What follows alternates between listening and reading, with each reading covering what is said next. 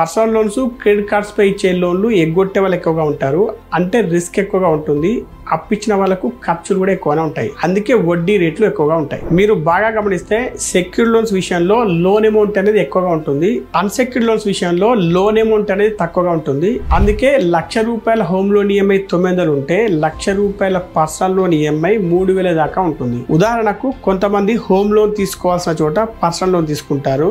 Credit card ఉపయోగించాల్సిన చోట gold loan తీసుకుంటారు. సెక్యూర్ లోన్స్ అనేవి ఎక్కువ కాలం చెల్లించే విధంగా ఉంటాయి. దానివల్ల వారి కట్టే ఈఎంఐ తక్కువగా ఉంటుంది మరియు సౌకర్యవంతంగా ఉంటుంది.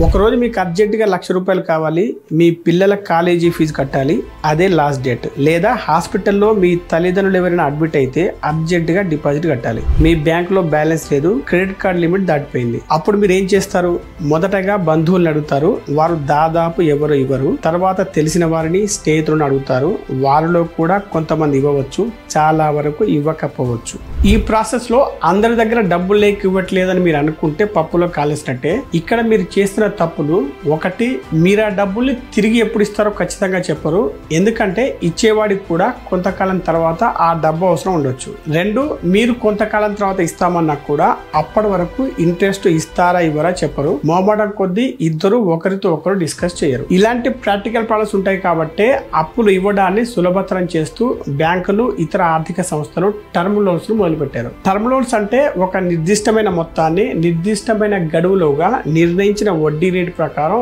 రీపేమెంట్ షెడ్యూల్తో సహా ఇచ్చే లోన్స్. అప్పులు తీర్చడం ఎలా అనే వీడియోలో మనం ఒక యాక్షన్ ప్లాన్ సిద్ధం చేసుకొని అప్పుల్ని పద్ధతి ప్రకారం ఎలా క్లియర్ చేసుకోవాలో మీరు తెలుసుకున్నారు. అందులోనే అప్పుల్లో ఉండే రకాల గురించి కొంతవరకు తెలుసుకోవడం జరిగింది. కానీ మీరు ఏదైనా అప్పు తీసుకోవాలన్నా లేదా అప్పు తీర్చాలన్నా మీకు అప్పుల్లో ఉండే రకాల గురించి తెలుసుకోవాల్సిన అవసరం ఉంది. అప్పుడు మీరు మీ సంపాదన బట్టి సరైన నిర్ణయం తీసుకోవాల్సి ఉంటుంది. ఉదాహరణకు కొంతమంది హోమ్ లోన్ తీసుకోవాల్సిన చోట పర్సనల్ లోన్ తీసుకుంటారు.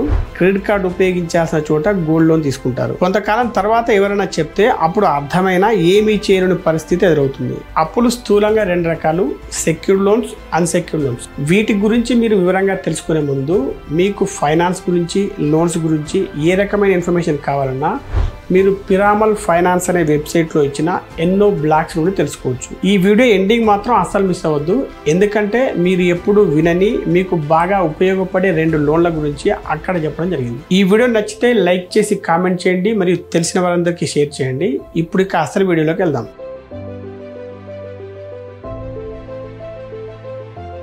సెక్యూర్డ్ లోన్స్ అంటే సురక్షిత రుణాలు. పేరులోనే రక్షణ ఉన్నట్టుగా ఈ లోన్ కోసం మీరు సెక్యూరిటీని అందించడం అవసరం. అంటే ఖచ్చితంగా మీరు ఏదో ఒకటి తాకట్టు పెట్టాల్సి ఉంటుంది. ఒకవేళ మీరు ఆ లోన్ కట్టకపోతే మీకు లోన్ ఇచ్చిన బ్యాంకు కానీ లేదా ఆర్థిక సంస్థ కానీ మీరు ఇచ్చిన సెక్యూరిటీని కానీ లేదా మీరు తాకట్టు పెట్టిన వస్తువును కానీ స్వాధీనపరచుకుంటుంది. అన్సెక్యూర్డ్ లోన్స్ అంటే అసురక్షిత రుణాలు. మీరు ఈ లోన్ కోసం ఎటువంటి షూరిటీ ఇవ్వనవసరం లేదు.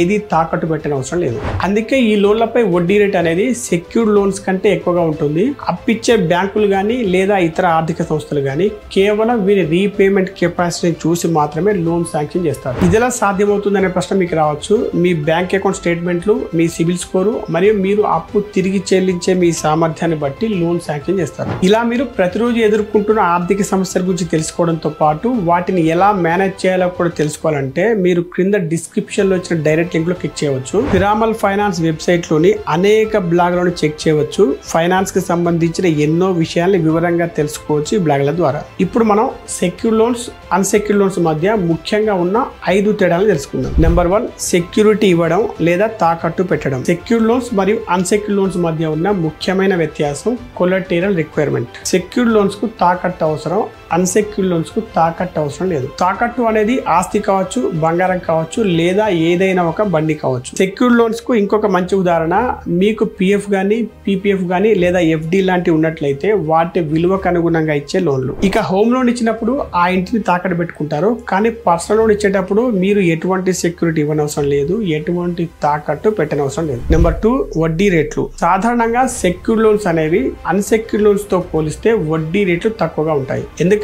అప్పిచ్చిన వారికి పెద్దగా రిస్క్ ఉండదు. పైగా ఎగ్గొట్టే వాళ్ళు కూడా చాలా తక్కువగా ఉంటారు కాబట్టి. పర్సనల్ లోన్స్ క్రెడిట్ కార్డ్స్ పై ఇచ్చే లోన్లు ఎగ్గొట్టే వాళ్ళు ఎక్కువగా ఉంటారు. అంటే రిస్క్ ఎక్కువగా ఉంటుంది.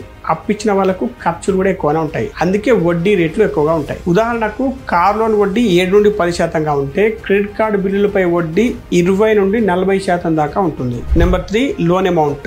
మీరు బాగా గమనిస్తే సెక్యూర్ లోన్స్ విషయంలో లోన్ అమౌంట్ అనేది ఎక్కువగా ఉంటుంది.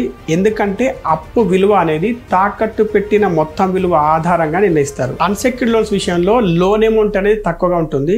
ఎందుకంటే అది వారు వ్యక్తిగతంగా చెల్లించే సామర్థ్యాన్ని బట్టి మరియు వారి సిబిల్ స్కోర్ను బట్టి బట్టి నిర్ణయిస్తారు కాబట్టి. ఉదాహరణకు మీరు గోల్డ్ తాకట్టుగా పెట్టి లోన్ తీసుకున్నప్పుడు మార్కెట్ విలువలో డెబ్బై ఐదు శాతం నుండి ఎనభై శాతం వరకు మాత్రమే లోన్ ఇస్తారు.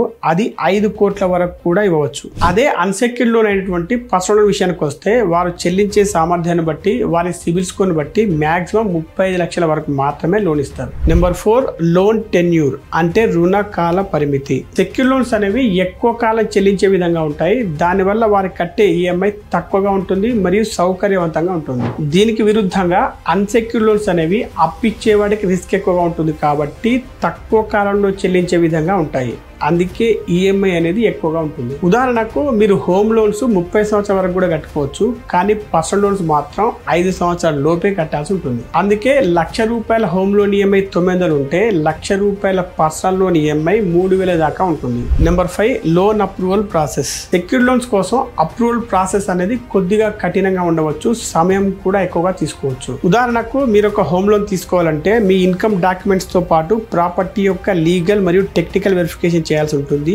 అది కొన్ని గంటల్లో జరిగే పని కాదు కొన్ని రోజులు పడుతుంది. కానీ అన్సెక్యూర్డ్ లోన్స్ అయితే అప్రూవల్ అనేది చాలా త్వరగా జరిగిపోతుంది. ఎందుకంటే అక్కడ లోన్ తీసుకునే వారి సిబిల్ స్కోర్ను మరియు వారి ఆదాయాన్ని మాత్రమే చెక్ చేయాలి కాబట్టి. ఉదాహరణకు పర్సనల్ లోన్స్ అనేవి సాధారణంగా ఒక్క రోజులోనే అప్రూవల్ అయిపోతాయి. చివరిగా మన దేశంలో ఎక్కువ మంది తీసుకున్న లోన్ల గురించి ఒకసారి చూస్తే సెక్యూర్డ్ లోన్స్లో ముఖ్యమైనవి హోమ్ లోన్స్ కార్ లోన్స్ మరియు గోల్డ్ లోన్స్ ఇక అన్సెక్యూర్డ్ లోన్స్లో ముఖ్యమైనవి పర్సనల్ లోన్స్ క్రెడిట్ కార్డ్స్ మరియు స్మాల్ స్కేల్ ఇండస్ట్రీస్కు మీడియం స్కేల్ ఇండస్ట్రీస్కి ఇచ్చే బిజినెస్ లోన్స్. ఇవే కాకుండా మీ అవసరాన్ని బట్టి ఇచ్చే కొన్ని లోన్స్ కూడా ఇదే కేటగిరీలోకి వస్తాయి. ఉదాహరణకు వెడ్డింగ్ లోన్ అంటే పెళ్ళిల కోసం ఇచ్చే లోను వెకేషన్ లోన్ అంటే మీరు ఏదైనా విహారయాత్ర కోసం వెళ్తే తీసుకునే లోన్స్ ఇంకా హోమ్ రినోవేషన్ లోన్ అంటే ఇంటి రిపేర్ల కోసం తీసుకునే లోన్లు. వీడియో మొదట్లో చెప్పినట్టు మీరు వినని రెండు రకాల లోన్ల గురించి ఇప్పుడు తెలుసుకుందాం.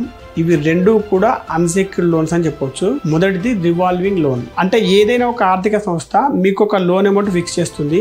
మీరు ఆ మొత్తాన్ని విత్డ్రా చేసుకొని కొంతకాలం తర్వాత మొత్తం అమౌంట్ కానీ లేదా కొంత అమౌంట్ కానీ తిరిగి చెల్లించవచ్చు. తర్వాత తిరిగి మళ్ళీ లోన్ తీసుకోవచ్చు లోన్ అమౌంట్ వరకు. ఉదాహరణకు ఒక వ్యక్తికి బ్యాంకు ఒక లక్ష రూపాయల రివాల్వింగ్ లోను రెండు సంవత్సరాల కోసం ఇచ్చింది అనుకోండి అతడు ఒక లక్ష రూపాయల లోన్ తీసుకొని నెల రోజుల తర్వాత యాభై వేలు పే చేయవచ్చు. అంతేకాదు అతడు మళ్ళీ మిగిలిన లోన్ అమౌంట్ అయిన యాభై వేలను తిరిగి అప్పుగా తీసుకోవచ్చు. ఇలా రెండు సంవత్సరాల లోపు ఎన్నిసార్లు అయినా చేయవచ్చు. ఇక రెండవది కన్సాలిడేషన్ లోన్ అంటే అన్ని కలిపిన ఒక లోన్ అని చెప్పవచ్చు. మీరు రకరకాల లోన్లు తీసుకుని ఉంటారు కదా అవన్నీ మానిటర్ చేయడం కొంచెం కష్టంగా ఉండవచ్చు. లేదా ఆ లోన్లు వేరు వేరు వడ్డీ రేటుతో తీసుకునే ఉండవచ్చు. అలాంటప్పుడు ఆ లోన్ల అవుట్ స్టాండింగ్ ఎంత ఉంటుందో అంత మొత్తానికి ఒకే ఒక కొత్త లోన్ తీసుకోవచ్చు కొత్త ఈఎంఐతో ఇంతకుముందు చెప్పినట్టుగా డిస్క్రిప్షన్లో ఉన్న లింక్లు క్లిక్ చేసి పిరామల్ ఫైనాన్స్ అనే వెబ్ ని ఒకసారి చెక్ చేయండి. అందులో ఉన్న బ్లాగ్లను చూస్తే మీరు ఫైనాన్స్కు సంబంధించిన అనేక విషయాలు తెలుసుకుంటారు. ఈ వీడియో మీకు నచ్చితే లైక్ చేసి కామెంట్ చేయండి. మరియు తెలిసిన వారందరికీ షేర్ చేయండి. Be rich stay rich.